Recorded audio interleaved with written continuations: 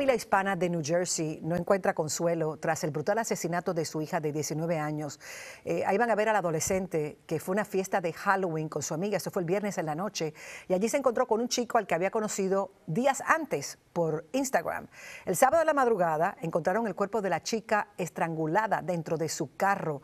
La policía arrestó al sospechoso de 21 años que alega que la muchacha murió cuando estaban teniendo un encuentro sexual y él la estaba asfixiando como parte del acto sexual y se le pasó la mano. Esas fueron sus palabras. El gobierno de México dio a conocer el minuto a minuto de la batalla de Culiacán, el fallido operativo del 17 de octubre para capturar al hijo de Joaquín El Chapo Guzmán.